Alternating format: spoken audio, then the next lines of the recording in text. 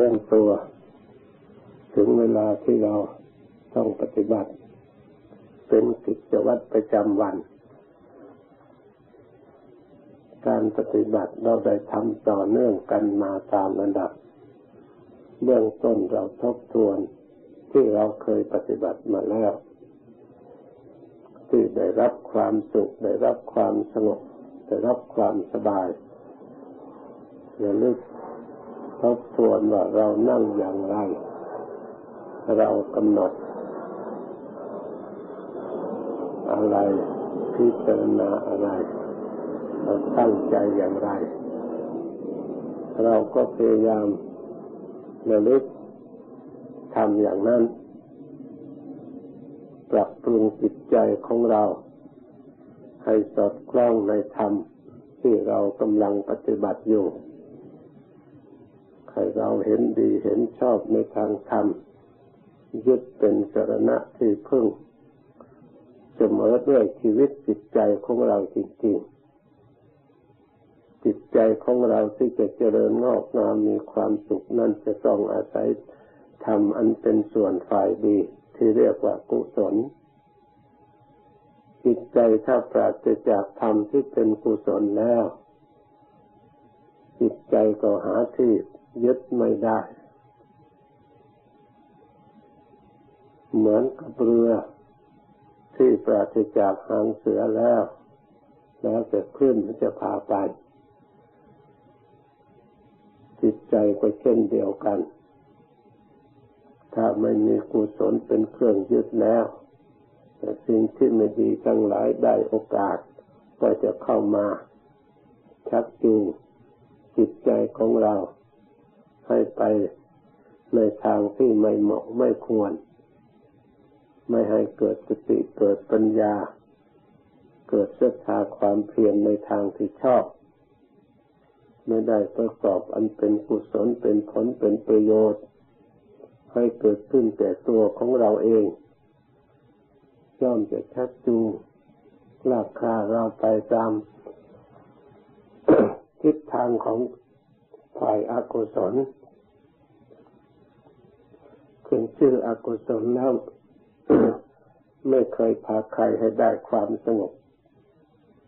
ให้ได้ความสุข ให้ได้สติปัญญาอันชอบ ไม่ใช่ได้จากความ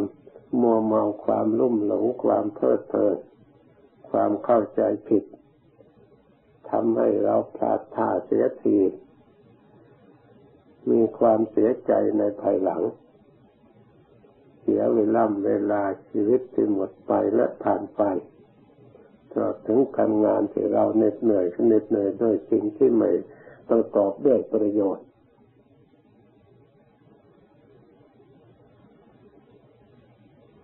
เพราะฉะนั้นจิตใจถ้าหากว่าเราระลึกถึงความดีที่มีอยู่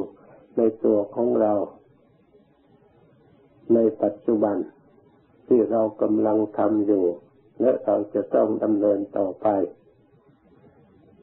เอาความดีมาฝังไว้ในจิตใจของเรา จิตใจก็จะมีหลักมีฐานมีความมั่นคง สิ่งที่ความดีก็สนุบำรุงจิตใจของเรา ให้พ้นจากภัยอันตรายต่างๆ เป็นจิตที่ศักดิ์สิทธิ์มีอนุภาพ ตัวอย่างองค์สมเด็จพระสัมมาสัมพุทธเจ้า พระองค์ได้อนุภาพได้ศักดิ์สิทธิ์ได้ความรู้ความฉลาด เพราะพระองค์อบรมจิตใจในส่วนที่เป็นกุศล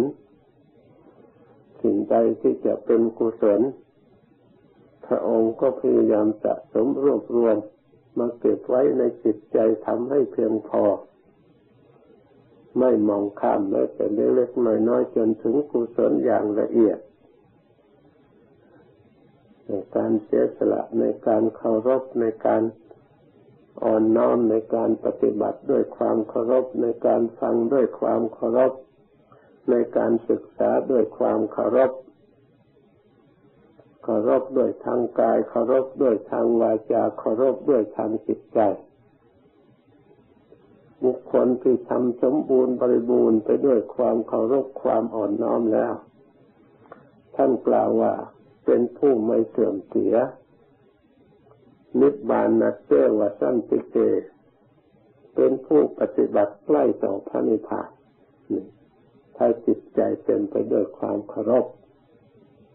ในการศึกษาในการปฏิบัติ ในการฝึกขัดในการอบรม ปฏิบัติโดยความอ่อนน้อมดึกจิตใจอันจริงจังต่อธรรมต่อวินัยจึงจะได้รับความรู้จริงเห็นจริง ถ้าเราถ้าเราปฏิบัติไม่จริง ปฏิบัติไม่ตั้งใจโดยความเคารพแล้วสิ่งที่เป็นอกุศลได้โอกาส มันก็จะเข้ามา เกิดขึ้นในจิตใจของเราแทน สิ่งที่เป็นกุศล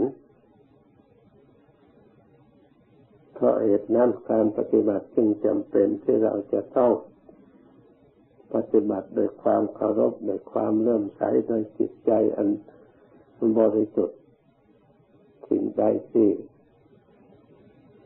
พิจารณาเห็น ว่าไม่เกิดประโยชน์ที่ควรละ เราก็พยายามละสิ่งนั้นให้ได้ ตามแบบอย่างอย่างของพระพุทธเจ้าและพระอริยเจ้า สิ่งไหนควรบำเพ็ญทำให้สมบูรณ์บริบูรณ์เราก็พยายามตั้งใจฝึกหัดปฏิบัติโดยศรัทธาความเชื่อความเลื่อมใส รวบรวมกำลังความดีไว้ในจิตใจของเราให้เพียงพอ ความดีนี่นะจะกลายเป็นปรมีประดับบุคคลผู้นั้นให้มีความสุขให้มีความเจริญ ให้มีความก้าวหน้า ในชีวิตและการงานที่ตนกระทำไปตามระดับ จนถึงได้รับความ สุขอย่างสูงอย่างละเอียดประณีตในทางธรรม ที่เราประพฤติปฏิบัติฝึกหัดอบรมอยู่ เพราะฉะนั้นเราทั้งหลายเพียรพยายามอย่าไปกลัวทุกข์กลัวเจ็บกลัวปวดอย่าไปคิดว่าจะเป็นสิ่งนั้นจะเป็นอย่างนอนอย่างนี้โรคภัยจะเกิดขึ้น สิ่งเหล่านี้ล้วนแต่ เรา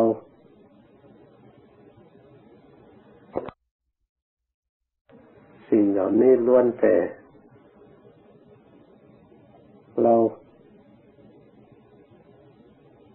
ทำให้จิตใจของเราอ่อนแอ เป็นเครื่องขัดขวางในการดำเนินปฏิบัติ เข้าสู่ความรู้ความฉลาดความสามารถกำลังเกิดขึ้นในจิตใจของเรา เราเชื่อกรรม ถ้าไม่ถึงคราวแล้ว ถ้าไม่ใช่กรรมที่เราได้ทำไว้แล้ว ที่จะอำนวยผลโดยลอยๆเป็นไปไม่ได้ เราพยายามทำความดี ถึงแม้ว่าจะมีอุปสรรคเป็นบางอย่างเราก็สามารถที่จะชนะได้ ถ้าเราเชื่อความดีในการกระทำของเรา สามารถที่จะผ่านพ้นไปได้ถ้าเราเห็นความดีที่เรากระทำนี้ทำให้จิตใจของเราผ่านพ้นจากสิ่งที่ไม่ดีไปได้ มีผู้กระทำประพฤติปฏิบัติข้าม ทะเลทรายอันกันดารอันเป็นเครื่องอุปสรรคในการดำเนินเพื่อให้ถึงความสงบสุขที่แท้จริงท่านได้ผ่านพ้นมาเป็นจำนวนมากต่อมากแล้ว ถ้าเราทั้งหลายพยายามทำด้วยสติด้วยปัญญาอันชาญฉลาดของเรา ตามหลัก ทำคำสอนของพระพุทธเจ้า ที่เราได้ศึกษาและสดับตรับฟังมา ตั้งใจประพฤติปฏิบัติจริงๆแล้ว ไม่เป็นสิ่งที่เหลือวิสัย พระพุทธเจ้าพระองค์ทรงแสดงธรรมะมัชฌิมาพอดีพองามในท่ามกลางที่เราทั้งหลายทุกชนชั้นสามารถที่จะเลือกไปใช้ให้เหมาะสม ให้สำเร็จประโยชน์ แต่ละบุคคลได้ ยังไม่มีความสงสัย สามารถจะพิจารณาให้เข้าใจถูกต้อง ให้มีความเห็นตรง องอาจในการกระทำจนกว่าบรรลุถึงซึ่งความสำเร็จ แก่ผู้ประพฤติปฏิบัติฝึกหัดอย่างแท้จริง เพราะฉะนั้นขอให้เราทั้งหลายพยายาม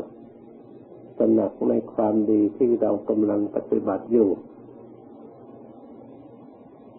รักษาความดีอันนั้นให้เกิดความปลื้มปิติดีใจในการกระทำความสงบความเย็นใจก็จะบังเกิดขึ้นตามระดับไม่ต้องสงสัยเมื่อความสงบเกิดขึ้นแล้วความทุกข์ที่มีอยู่เคยก่อกวนมันก็ค่อยสงบระงับดับไป ตั้งอยู่ไม่ได้ ความดีความ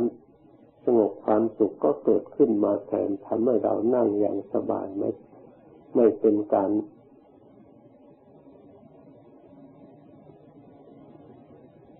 ทำให้จิตใจของเรา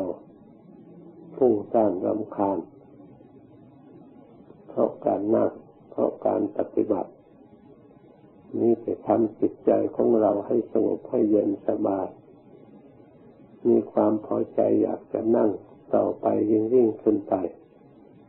จิตกายใจมันเข้าหน้าน้อมไปในทางที่ดีจะมีความเห็นอันถูกต้องเพราะฉะนั้นขอเราทั้งหลายตั้งใจ สร้างความดีเป็นพื้นฐาน แล้วเพื่อกำจัดสิ่งที่ไม่ดี สร้างความสงบเป็นพื้นฐานเพื่อกำจัดสิ่งที่มาก่อกวนถึงอะไรไม่สงบคอยจิตใจที่เรารักษา มีสติระลึกบริกรรมทำภาวนานี่ ให้ดีให้สงบอยู่ในที่ทำให้สบาย นอกนั้น จะมีอะไรขึ้นมาเราก็ผ่านไปผ่านไปผ่านไปอย่าสนใจเราเอาแต่งานของเรากำลังทำอยู่เหมือนกับเรา ขับรถ เราก็มีสติระวังแต่รถของเรา ผ่านไปผ่านไป ตามกฎจราจร เราก็จะไปด้วยความปลอดภัยแต่มัวแต่ไปสนใจในเรื่องอื่นภายนอกแล้วเมื่อรถมันจะพังเราก็จะเจ็บชั้นใดก็ดี การประคับประคองจิตของเราที่ปฏิบัติภาวนา เราก็ประคับประคอง ในงานของเรากำลังระลึกกำลังจดจ่อกำลังรักษาอยู่ในปัจจุบันเดี๋ยวนี้ด้วยความดีใจด้วยความพอใจด้วยความเลื่อมใสด้วยความพยายามไม่ลดละ วันหนึ่งข้างหน้าเราก็จะต้องถึงจุดหมายปลายทางแน่นอน ขอให้เราทั้งหลายตั้งใจ ต่อไปนี้จะหยุดการบรรยาย พื่อเราจะได้ไปปฏิบัติให้ละเอียดไปตามระดับ